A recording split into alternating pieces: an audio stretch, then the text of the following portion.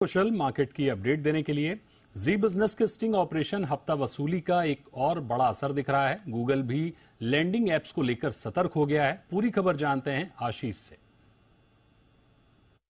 देखिए, जब sting operation हमने किया था, तब मुद्दा हमने उठाया था कि लोगों को जो ब्लैकमेल किया जा रहा है पर्सनल लोन देने के बाद, उसमें एक बहुत बड़ी दिक्कत ये थी कि जो पर्सनल लोन एप्लीकेशंस थे और जिसने लोन लिया था इसका सारा डेटा वो देख पा रहे थे और इसी के चलते वो ब्लैकमेल कर रहे थे। ये बड़ा मुद्दा हमने उठाया था और इसी के बाद अगर आप देखें तो गूगल ने अब फाइनली जाकर जो है अपनी डेवलपर पॉलिसी में बदलाव किया। दरअसल पॉलिसी में बदलाव ये किया है कि ये जो लोन एप्लीकेशन है, ये जो लोन ले रहा है, जो ग्राहक लोन ले रहा है, इसके फ़ोन का डेटा पूरी तरीके से एक्सेस नहीं कर पाएँगे। इनफैक्ट जितनी भी चीज़ें थी जिनके चलते ये ब्लैकमेलिंग हो रही थी। अब यहाँ पर अगर आप देखें तो इसके एक्सेस पर पूरी तरीके से प्रतिबंध लगा दिया गया। यानी आप देखिए, जो एक्सटर्नल स्टोरेज है लोन एप्लीकेशन वो नहीं देख पाएगा।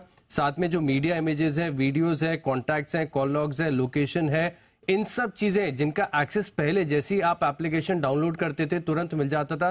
फिर हमने काफ़ी सारे केसेस में देख के बताया कि यहाँ पर जो है जिन्होंने लोन ले रखा था, इनके रिश्तेदारों को फ़ोन करके एसएमएस करके व्हाट्सएप के माध्यम से बताने की धमकी दी जा रही थी। कुछ निजी फ़ोटोज़ वीडियो जो है वायरल करने की धमकी दी जा रही थी। अब यहाँ पर अगर आप देखें तो इसको फाइनली हमारी बड़ी मुहिम के बाद गूगल ने रिस्ट्रिक्ट कर दिया है अपनी डेवलपर पॉलिसी में बदलाव करके। तो एक बड़ी राहत की बात है। अब यहाँ पर अगर आप देखें तो माना जा रहा है कि अब लेंडिंग एप्स थोड़े से सुरक्षित हो पाएँगे, क्योंकि जो ब्लैकमेलिंग की जो चीज़ें थी, अब ये कंपनीज़ एक्सेस नहीं कर पाएँगे। इसके अलावा कुछ और छोटे मोटे बदलाव ये भी किए।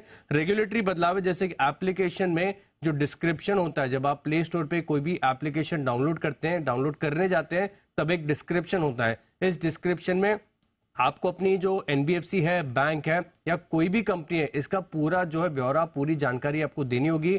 अगर सिर्फ़ एक एक्सचेंज प्लेटफॉर्म है, जहाँ पर अगर आप देखें तो लेंडर्स जो है, वो मिल रहे हैं। यहाँ पर ग्राहक दूसरी दूसरी कंपनी से लोन ले सकते हैं। ऐसा भी अगर कोई प्लेटफॉर्म है तो इसको भी आपको बताना होगा कि इनके थ्रू डायरेक्ट नहीं मिल रहा है, किसी और के थ्रू लोन ले पा रहे हैं तो इसकी भी जानकारी देनी होगी। लेकिन बड़ी राहत और बड़े असर यही है कि अब फ़िलहाल अगर आप देखें तो जो निजी डेटा कंपनियाँ यूज़ कर लेती थी अब इसके ऊपर प्रतिबंध लग गया। है